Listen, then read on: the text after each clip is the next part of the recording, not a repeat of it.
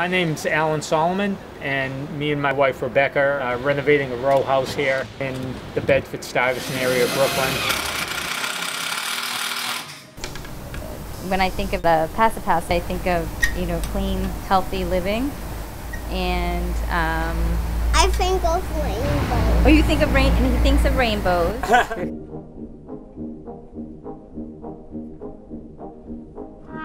Passive House is a design and construction methodology that was started in Germany in response actually to, to what Americans were doing in, in the United States in the 70s. During the energy crisis, uh, there was this great interest in reducing energy costs in buildings.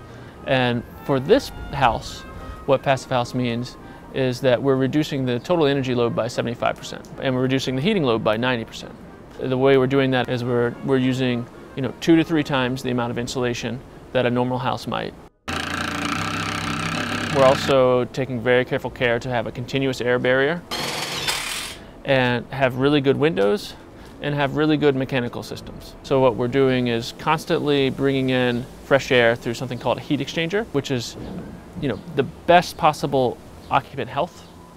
Well, the project sort of evolved from different events. Uh, we live in the neighborhood and we were looking to buy a home. I was hoping to find a house that was a wood frame house. I work with wood salvage, so uh, we bought the house. What we didn't realize at the time was just how much work was needed. The building itself was is in as bad shape as a New York building as I've ever seen. Any paint back in the yard is probably got full of lead paint and junk. And Yeah, I think most of the backyards have big lead paint issues. Yeah. It was about that time I was, um, we were selling wood to a couple of passive house projects in the city, uh, so I got a first-hand look at what was happening during the construction, and it was really interesting uh, to see this relatively old approach in Europe start taking off here in Brooklyn.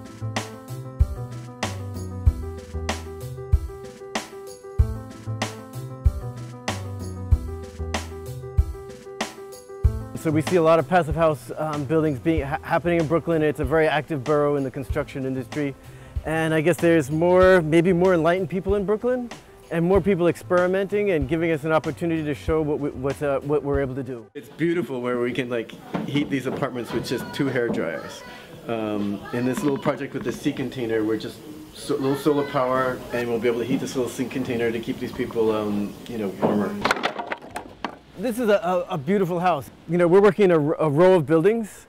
And so when we have a row of buildings, we have a lot of neighbors. And so we have all these party line walls that are against other warm buildings, adiabatic buildings. So they're warm. So we're not losing any energy or heat because all the adjacent buildings are warm. And so that's walls we don't have to insulate. And then we can just focus on the front and the back and the roof. And that's where we focus all our insulation and our little extra cost. And Passive House, an important aspect of it is, is using the sun. In this case, this is our south facade. So first design decision is take these rather small openings and combine them. So you see this door here to this window, we're gonna make one big cut to create a one 10 by 10 window, which will bring in all this low-lying winter sun. Same with the second and third floors.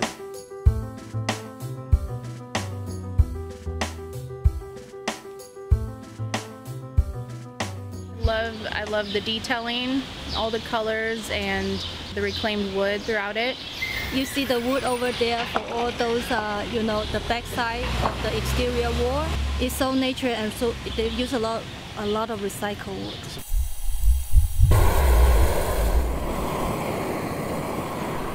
We've decided to use a fire treatment process on the wood for the front uh, exterior uh, that they call shou sugi ban, and it's a Japanese term.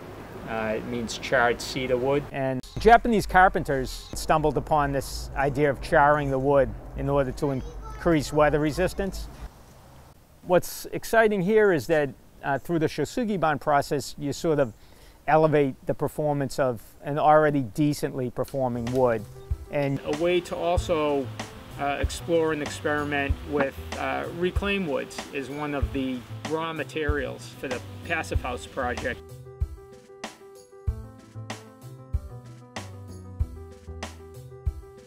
It evokes kind of uh, materials and techniques of a traditional exterior for a house, but they've done it in a very new way. It kind of just looks like a normal house.